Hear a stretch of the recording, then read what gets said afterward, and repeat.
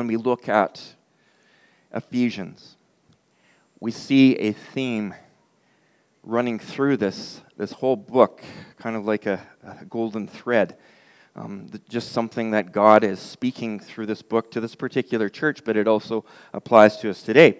And when we look into the book of Ephesians, um, the first thing that we see is that there's great teaching about the riches that we possess as believers in Jesus Christ. We have these great riches that God gives us. And next, it lays out foundational beliefs, principles, and, and, and practical applications for all believers to live by. And, and it also encourages, um, then it encourages the, the unity that God desires to see within His church um, so that the church can be effective in the world that uh, we're in. And um, it's a dark world out there, isn't it? Ephesians finishes off um, speaking about spiritual warfare. So um, we know that the enemy, he just does not want the church to be effective and productive out there. He desires to hold people captive and the church is a threat. And uh, in the final chapter here, um, we see that Paul just sort of finishes up. Now, you guys probably knew this, but in the original language, um, there's not chapters and verses, it's a letter. So there's been divisions made by people uh, way back when, and, and it helps us reference everything. But this is meant to be looked at as a letter. And sometimes sometimes we, um, when we read a, a, letter and we, we pick scriptures out of a book, um, we forget that there is a context, an overriding, an overarching uh, context for what is being spoken about. And Paul ties in the themes of his letter to the Ephesians in this final chapter. He kind of, he kind of ends with his discussion upon unity, and there's no accident that um, the, the discussion with, with the people on unity, the importance of unity, leads into a, discussion about spiritual warfare and effectively um, fighting what comes against us. And, and so this morning, um,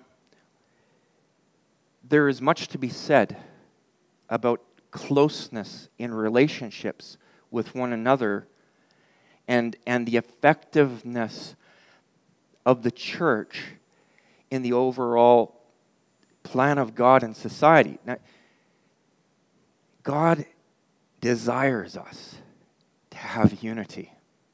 He really does. It's so important.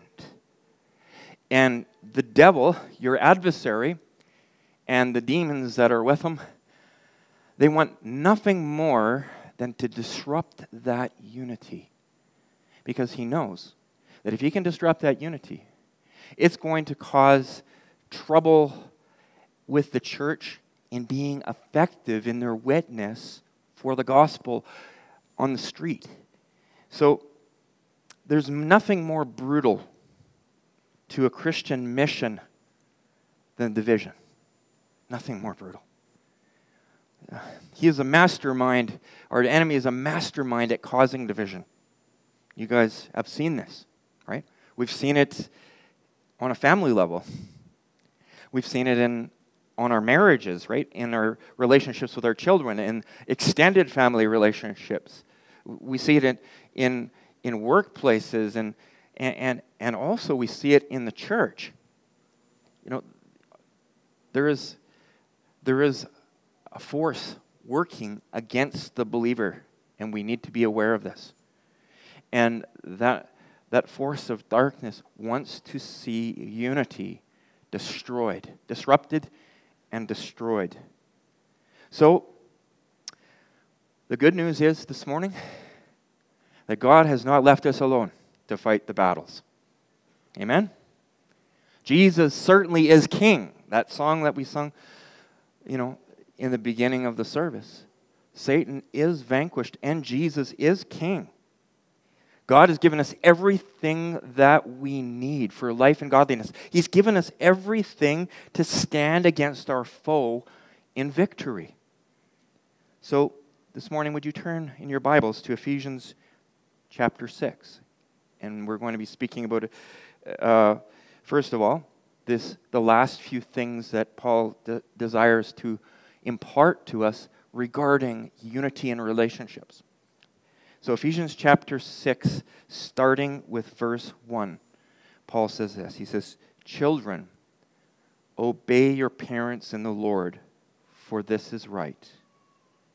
Honor your father and mother, which is the first commandment with a promise, so that it may go well with you and so that you may enjoy long life on the earth. Fathers, do not exasperate your children Instead, bring them up in the training and instruction of the Lord. Now, when you look out there, the world is filled with disobedience. And we certainly don't need to teach our children to disobey, do we? It's not something that's taught. Because each children, each child has this inherited inclination to disobey, and that's been passed down from Adam. You and I, as children, had the same propensity. Obedience, however, is another matter, isn't it? Obedience must be taught.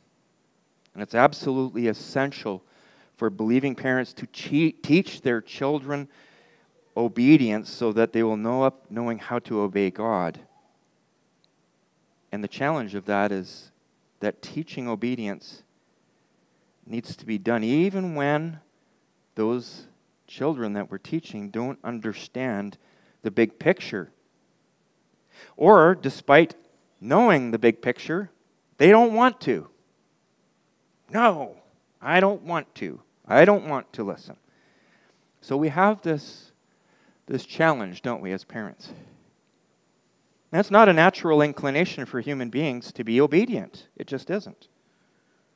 So when we see disobedience at work in our families with our children, we need to deal with it.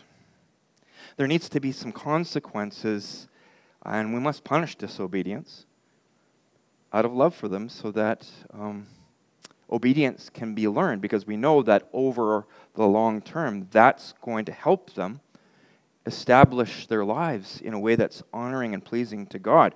Now, but there's more.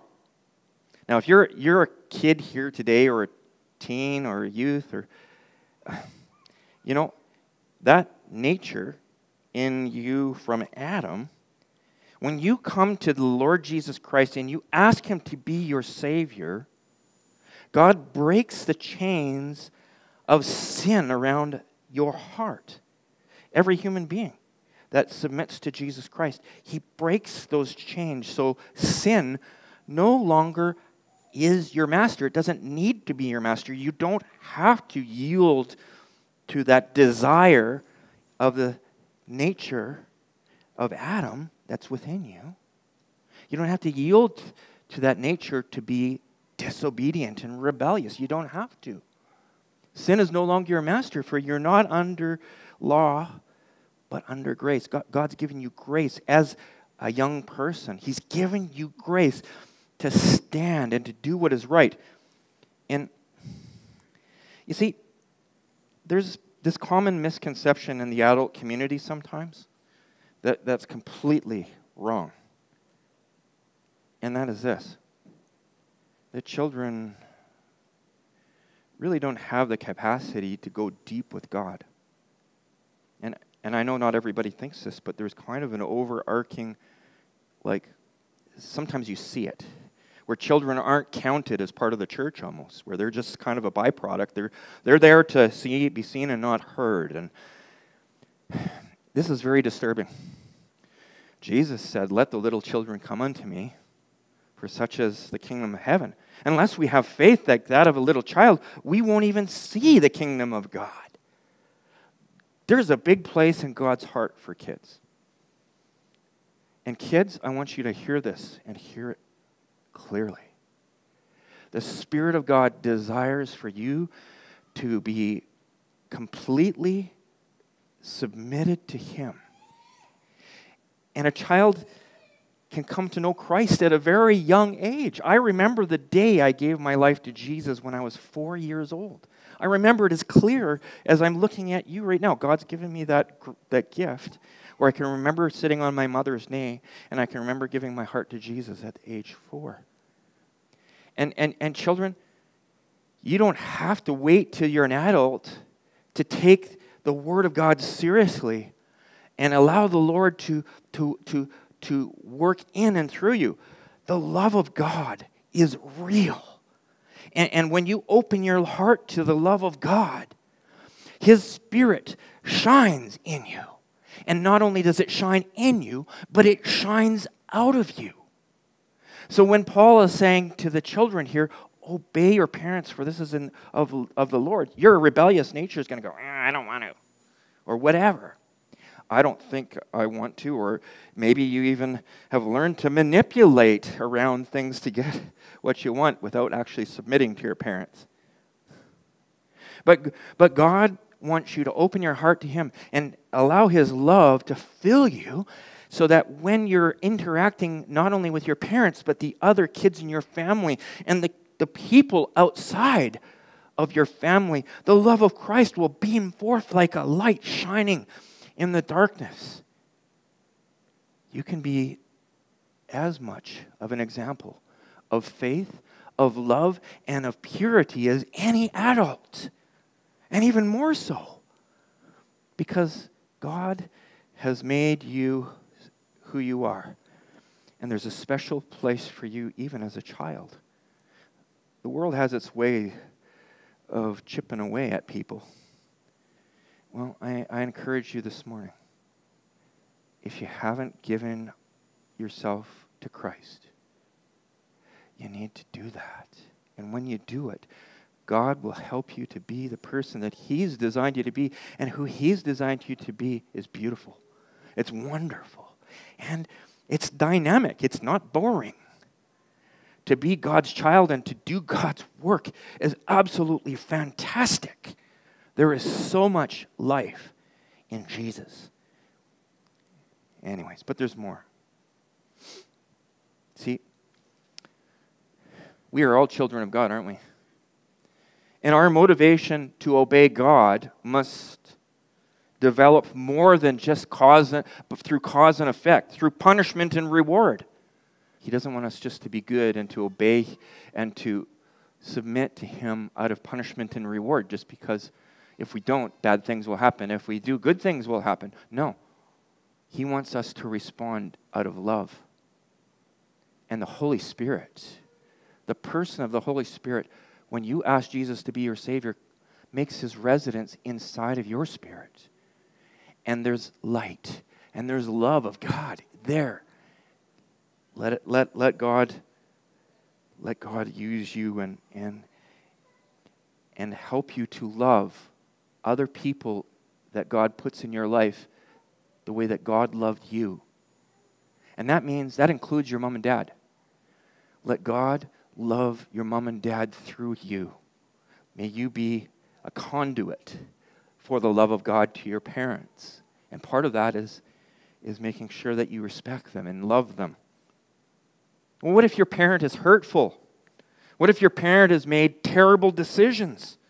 And have hurt both you and members of your family. And maybe you live in a home where things are rough, or have lived in a home where things are rough. Love for a hurtful parent certainly doesn't come from our own abilities. It's not something we can do. I talked with someone recently who, all their lives, is a senior, all their lives, they haven't been able to forgive their father. But once that forgiveness comes, there's freedom. See, the love of Jesus is supernatural, and it can help you to overcome the wounds of your past, of the things that have been done to you. It comes from the supernatural love of Jesus who died for us even while we were undeserving sinners. See, that's the love of God for you. We don't deserve to be receiving God's grace and love. But He gives it to us nonetheless. And as, as, as people, God desires us to have the same attitude as Christ. And that means allowing forgiveness to flow. If you need to forgive your parents for something they've done to you, you need to do it. Why? Because God forgave you and loved you even while you were a sinner. Therefore, we ought to love one another and forgive one another just as He loved us. And when you do that, there's something that happens inside of you that frees you, that sets you free. Because no longer is it is love is love measured on receiving it's all it's it's it's it's its own life within you that god god desires us to love him and to love others despite what's happening around us whether the world's crashing down whether terrible things happen around us or to, to us he wants us to learn contentment in him in any circumstance, regardless of what happens. God desires us to be the same when things are awesome and the same when things aren't going so well. Why? Because He's faithful and He'll take you through the valleys and He'll, he'll, he'll give you joy through the mountains when you're on the mountaintops.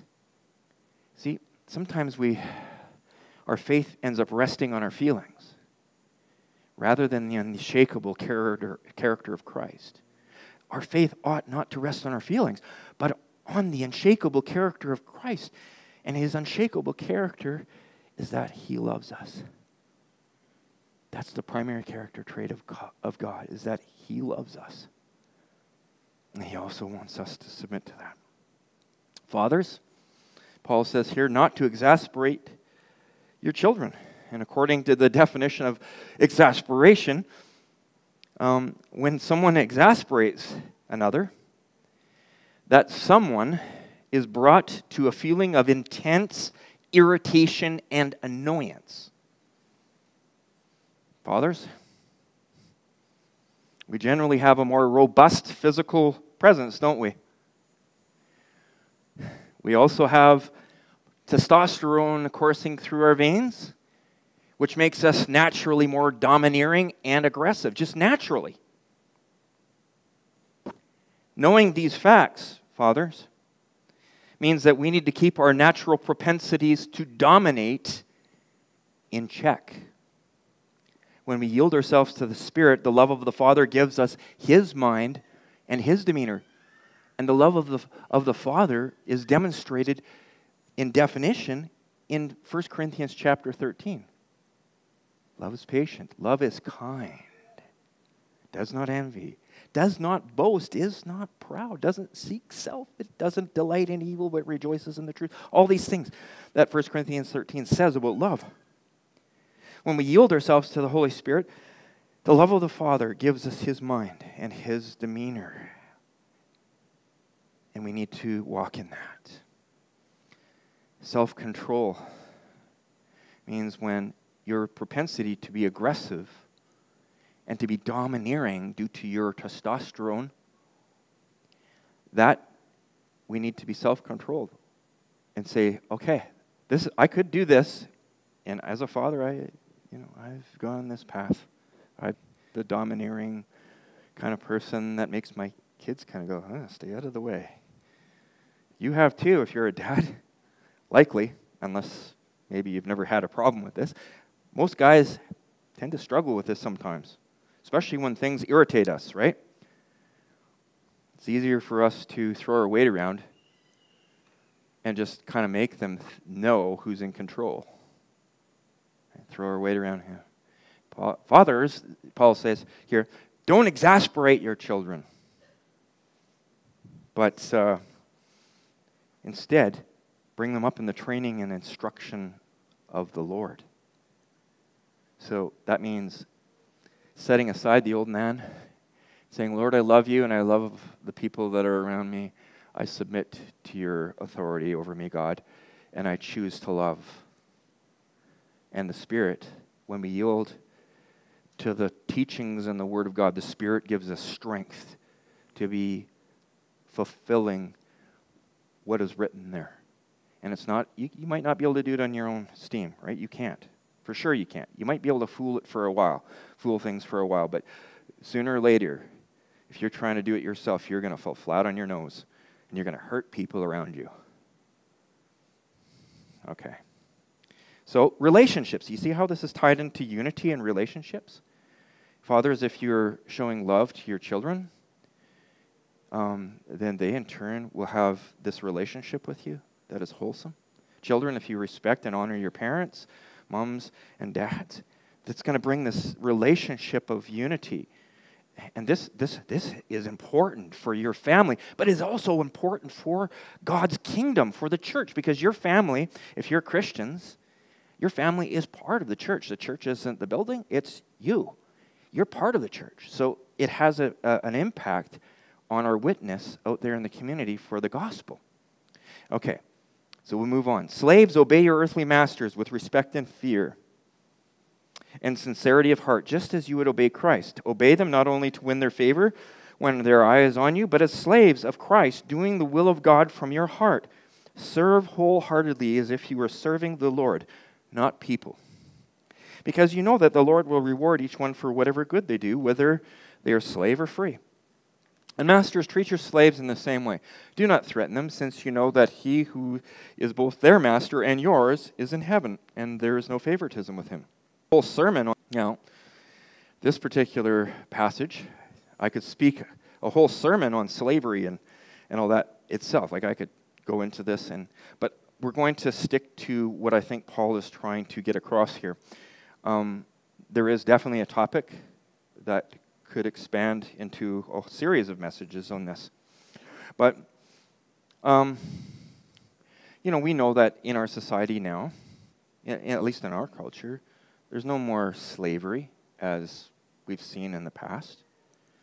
Um, in the past, people would either be taken against their will and become a slave to someone, or they would actually sell themselves into slavery because they couldn't afford to feed their families and, and to pay for a living for their family, they would sell themselves as a slave to, to a rich person because they were underprivileged. Today, we don't see that the same way. And in our society, in the place of a slavery system, we have developed a system where people sign on the dotted line and they sign on to work as an employee for an employer. And the employer gives them a wage in exchange for their labor. So Paul's encouraging believers, I believe, what he's saying here, who find themselves in a subservient position, a servanthood position, in our, in our case, as an employee. And, and those believers also who find themselves in management positions or as bosses to fulfill their duties as believers in reverence towards the other party. Now, what, what Paul is teaching here is that Christian employees and employers are both are both being instructed here to follow the golden rule. And for those of you who don't know what the golden rule is, the golden rule is the principle of treating other people as you would want to be treated yourself if you were in their position. So the bottom line is this is this out of love and reverence for God and our fellow man, both Christian employees and employers should be the very best examples of employee and employer relationships that there is on the planet. That's the truth. If we're connected to the King of Kings, God's desire is that the church shines. And one of the ways the church shines is the way that we work, the way that we treat other people while we work, whether we're bosses or whether we're employees. How do we carry ourselves in our attitude towards our work and the people that God has placed in the sphere that He's placed us in?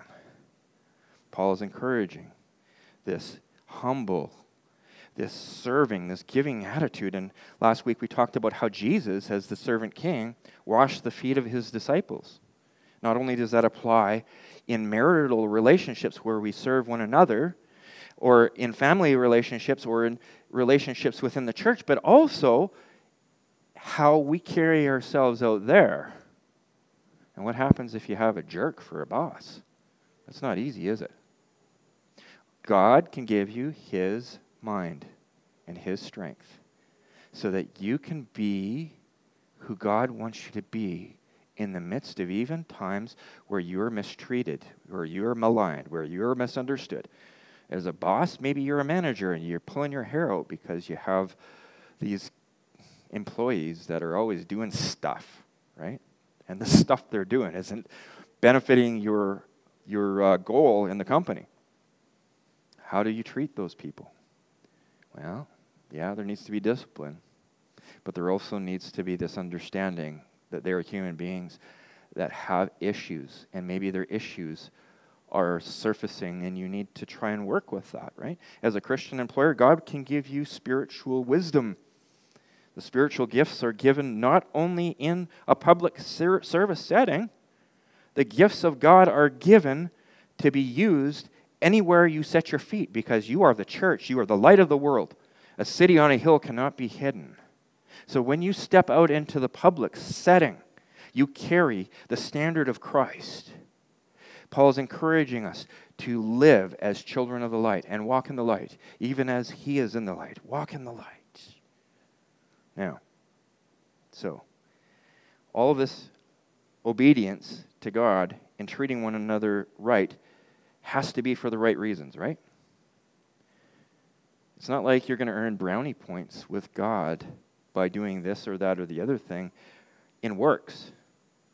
Your salvation is not dependent upon works, it's by grace. But the, if grace takes root in your heart and you understand the love of God and the forgiveness that He's given you, out of that thankfulness and that gratefulness comes a love for Him, and that love for Him permeates you and causes you to love others like He loves you. It just, this at one minute, the atonement is meant to bring us together with God, where once we were far apart from God, now we're brought together. And once we're brought together with God, the Spirit of the living God who lives within you desires the things that God desires. That's how behavior is changed.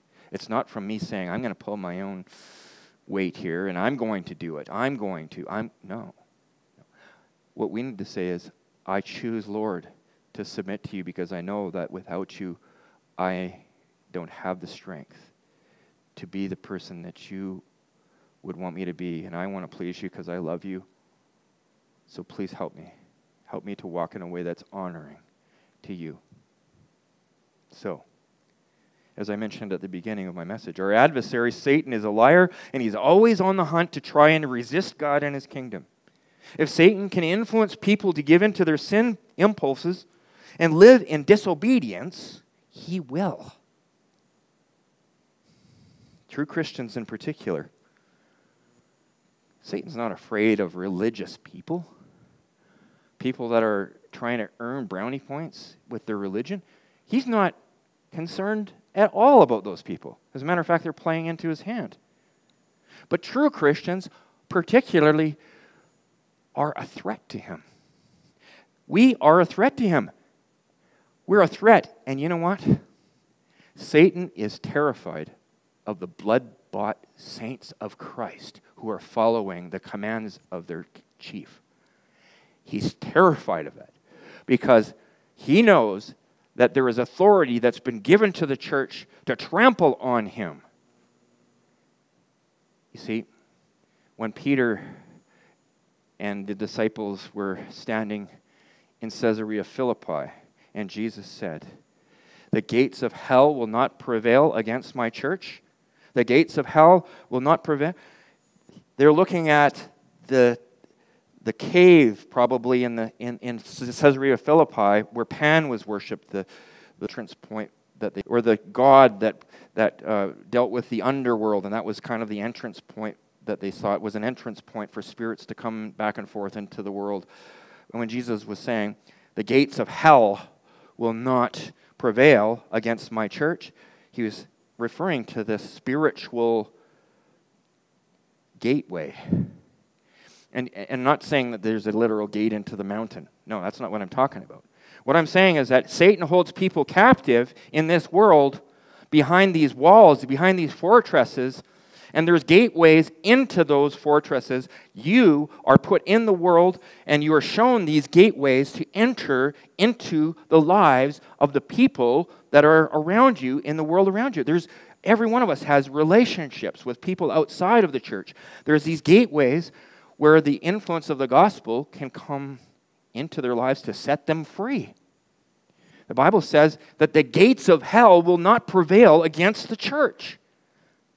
That means you are on the offensive and hell is on the defensive. You understand what I'm saying? It's not like the gates of hell are coming against us and we got to shrink back. Oh, no, no, no. The gates of hell are coming against us. No, we are going against the gates of hell. And those gates of hell that keep people captive are, are in threat of falling as the church of Christ advances. So, spiritual enemies hate the church. The devil hates the church. Evil detests seeing the strength of God's people living our lives collectively and effectively in unity, obeying what God has called us to be and what God has called us to do.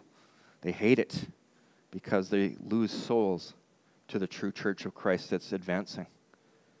And they're, dis- they're bent on destruction. The thief comes only to kill, steal, and destroy. Jesus said, I have come that they might have life and might have life to the full, or abundant life, abundantly.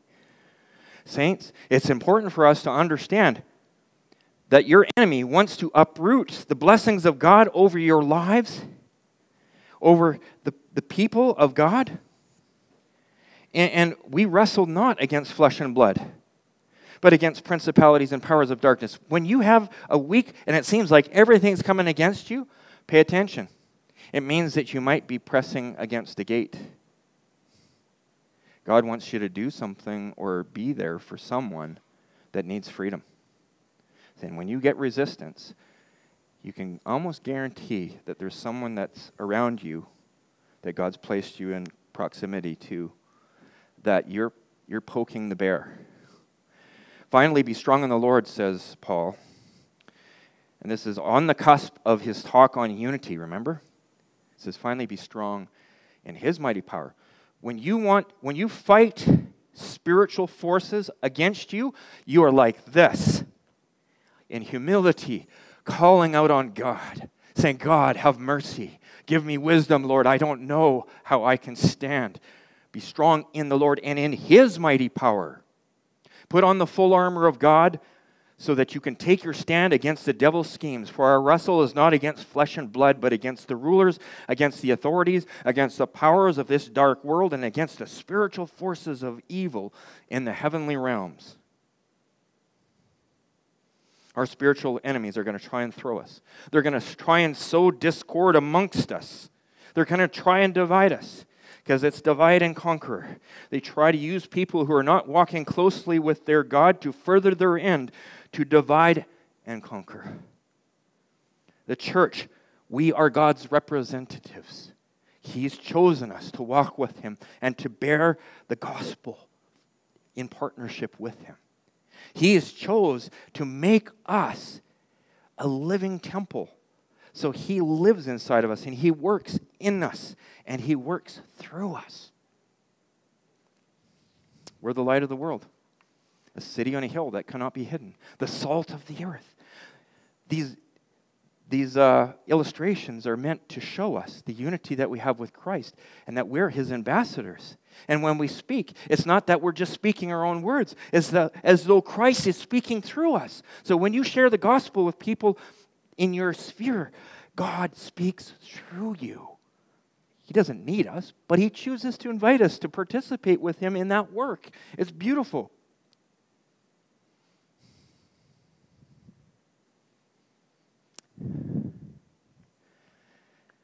What's our inheritance in this land? Our inheritance, I think we can say, first and foremost, is our freedom to worship God. We're set free so that we can worship Him. Everything else flows from our connection to the Lord. And that's why the first and most important commandment is love the Lord your God with all your heart, soul, mind, and strength. What else is our inheritance? It's the people of the Cariboo, the people that we're connected to in our families or in other communities where we have these connections. God desires us to be light and salt amongst those people because He desires that they be saved and delivered and healed. And you are Christ's ambassadors, so you're part of His army going forward. He's asked us, us to participate with Him. Our enemy is bent on keeping that from happening. Don't be afraid, church. When you come against resistance, and you will, if you're serving God, you will come against resistance. Don't be afraid. Jesus told his disciples in Luke 10 19, I have given you authority to trample on snakes and scorpions and to overcome not just some, but all of the power of the enemy. Nothing will harm you. Is it talking about physical? No, it's not talking about physical. All the apostles, except for one, lost their lives for the sake of the gospel. So it's not talking about physical harm.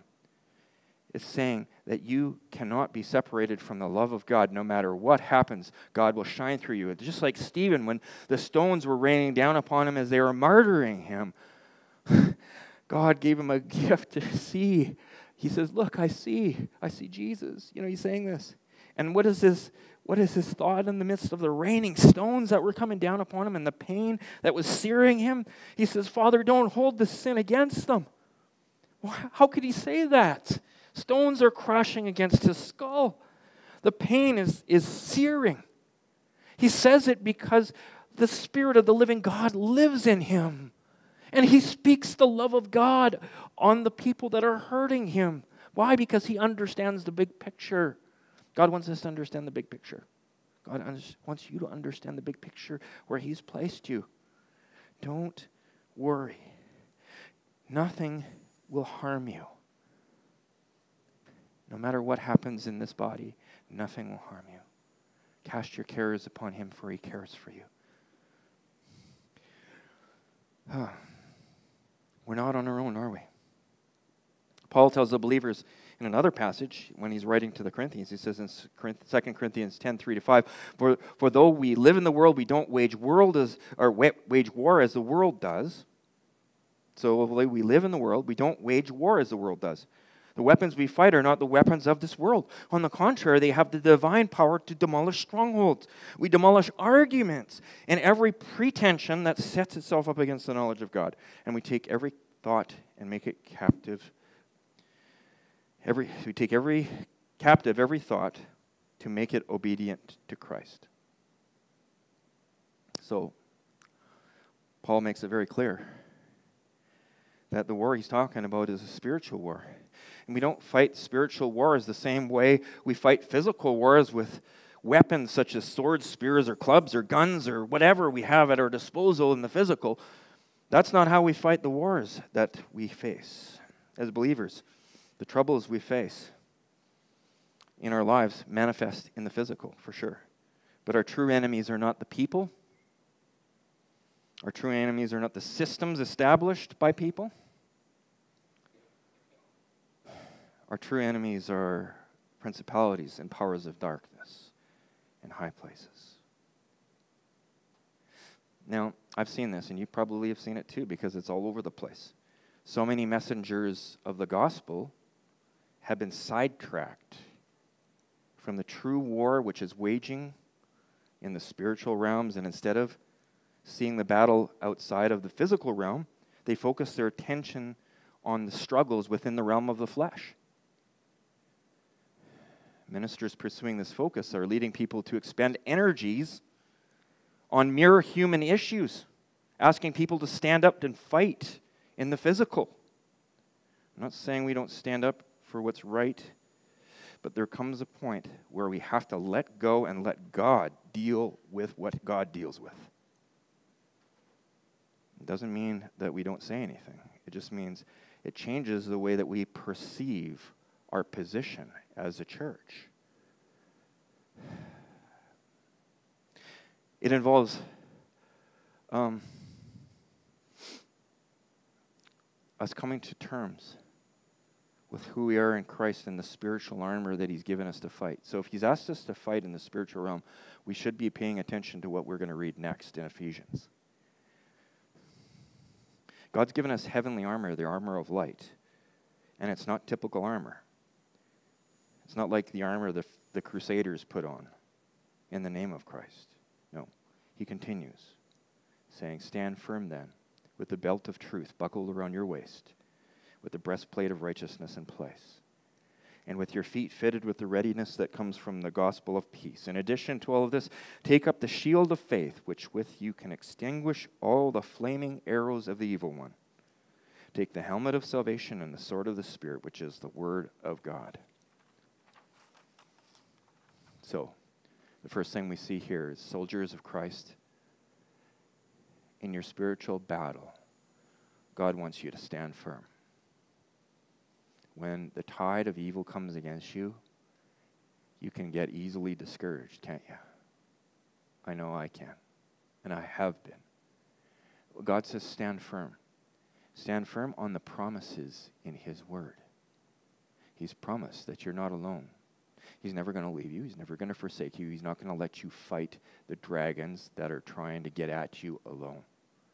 So stand firm. Trust in the Lord and look at Him. God's desire is that we stand firm, not turn, face, and run. All the spiritual armor that you see here, you know one thing it's got in common? It's all front facing. It's all front facing.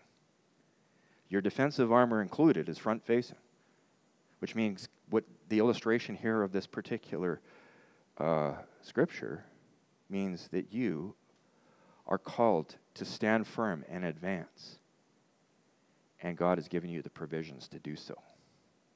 No weapon formed against you as a saint of Christ will prosper.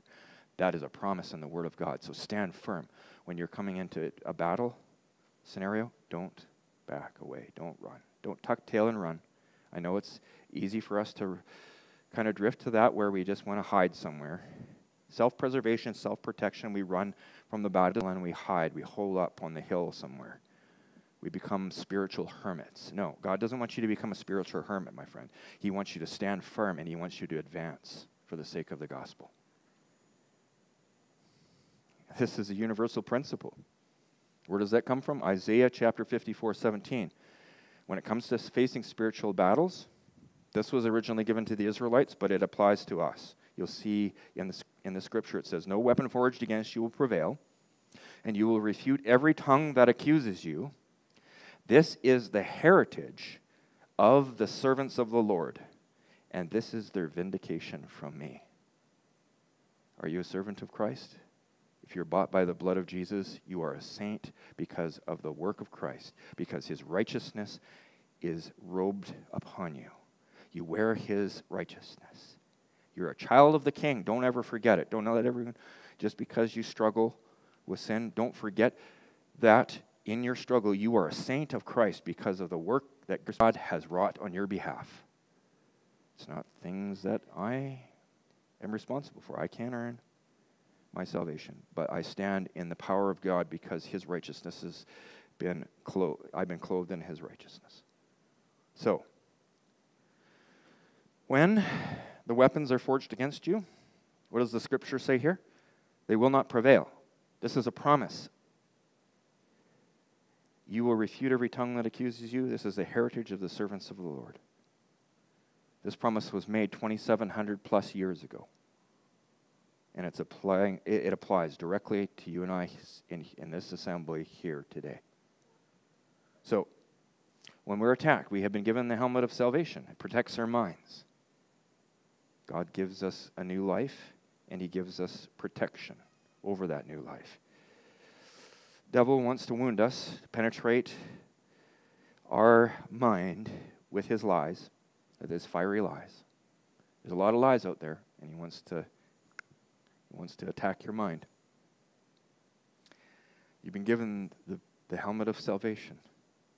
That's protection against the fiery darts of the evil one. Now, when you think about the, the armor, okay, soldiers just don't go running in those days, in the Roman soldier days, okay, they don't just go running around going, See, I got armor on my head. Go ahead, take your shot. Right? Look at, I got salvation. Take a shot, devil. Go ahead, take a shot. You're not going to get through. Now, that's not how they operate, is it? God's given us a shield of faith. The shield is meant to intercept the fiery darts, trusting in God. The shield of faith. A breastplate of righteousness. When the arrows somehow, sometimes our faith is weak, isn't it? Sometimes we need to ask God, Lord God, help me. I know I only have this measure of faith. I don't have more. Increase me, my faith, Lord. Help me. Help me believe. Help me. Sometimes we're like Thomas, aren't we? In our nature. We, we need this, people. We need to increase our trust. And we can't do that by doing it ourselves. Pray to the Lord to help you to increase your faith so that you trust Him more. This is spiritual growth, and God gives it to us. You know, our feet are shod, or we got this breastplate of righteousness to protect our hearts. God desires that our hearts are pure. The devil longs to penetrate hearts with his lies. Our feet are shod with the gospel of peace, enabling us to move forward and bringing the gospel to the lost in the midst of the fight. The devil wants to take away our peace with his fiery lies so that we will be crippled in going where God has asked us to go with the message. And all that armor that's on your body, it's held together by truth. The Roman armor, the belt held everything in place. What holds your shield? Your, your, your, your breastplate and all, and, and, and all that in place? It's, it's, it's truth. The belt of truth is around our waist. It holds us. It keeps the armor in place. You can truly, you can trust the Lord because His word is true. What is truth? My word is truth. Jesus said, I am the way, the truth, and the life. And his word is truth. He embodies truth, and his word is truth. And we can trust his word because it is true. And when we trust his word, our faith rises. We trust in God. You see how it's, it's all interconnected, and it's not something we work up on our own. Shield of faith is raised to absorb the brunt of the attack.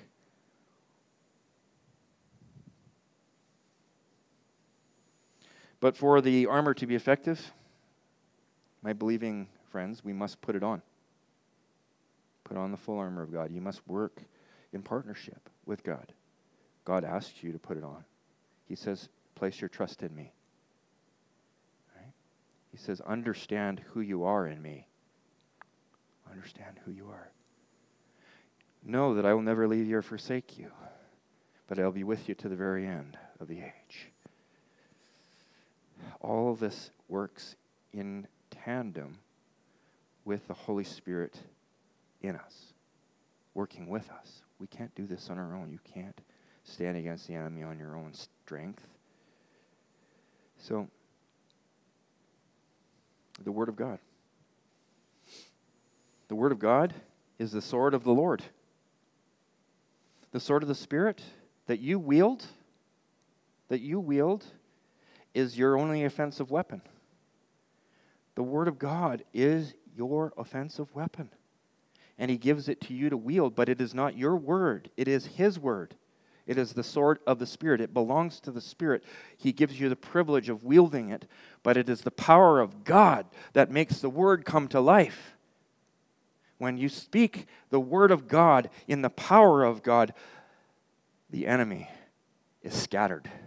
He runs he's defeated because the word is power. And there's power in the name of Jesus, there's power in his words, there's power in the truth that comes from his word. It's all connected, it's all interconnected. You see it? Can you feel it? Yes. You are a soldier of the light. Step forward in faith, trust in the Lord, and use his word. What did Jesus say when the devil came against him? The, it is written, it is written, it is written. That's how he defends his position and attacks the, the lies. But it's not done there. And then Paul says in verses 18 to 20, and pray in the Spirit on all occasions with all kinds of prayers and requests. With this in mind, be alert and always keep on praying for all the Lord's people. You know what? The reason why God uses the Roman army in this particular context is the way they fought. they linked shields. Their shields were together. They became an impenetrable barrier as the army walked forward. The shields covered the guy beside them, and the guy beside them covered you. And there were shields overhead, and there were shields beside. There were shields all on the front face. Why? Because God designed you not to walk solo. He walked. He designed you to walk together with Him and the other believers. We are all one in Christ. This is why unity is so important. As we walk forward, God grants us victory. And we protect each other, we cover each other. I'm not saying we cover each other's sin. We cover each other when we need one another. Because sometimes you're going to get hit because of something. You're going to get hit and you're going to need the person next to you, the person in the family of God to encourage you. We have a twofold purpose coming to church, friends, and it's not so that we can receive. We come to church to give. We come to church to serve, and in serving and in giving, we end up receiving. I don't come to church to get blessed. I come to church to gather with God's people to bless Him and to bless you because you are His children. And God wants all of His kids to come with that mentality. So we come to serve and we come to bless and we come to give. And in giving and blessing and serving, we find that all of our needs are met because everyone's, it's reciprocal. So we don't have to worry. Anyways.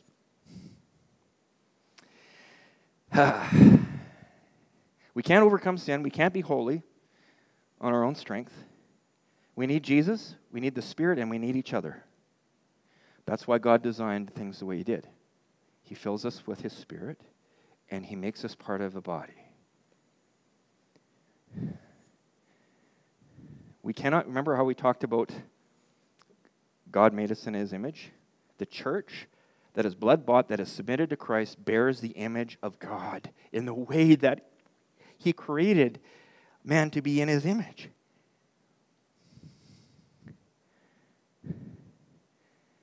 See, when you walk in accordance to obedience, as we're, we're painting here, if you walk in that obedience, you become image bearers. Image bearers of the living God. So this morning I want to encourage you. Nothing can separate you from the love of God. Absolutely nothing can separate you from His love. Jesus has given us his love. And I want to close with this verse, and I'm just going to read it. In Romans 8 37 to 39, Paul says this In all of these things, we are more than conquerors through him who loved us. For I am convinced that neither death nor life neither angels or demons, neither the present nor the future, nor any powers, neither height nor depth, nor anything else in all creation will be able to separate us from the love of God that is in, Jesus, in Christ Jesus our Lord. Aren't you glad this morning, saints of God, that this is true?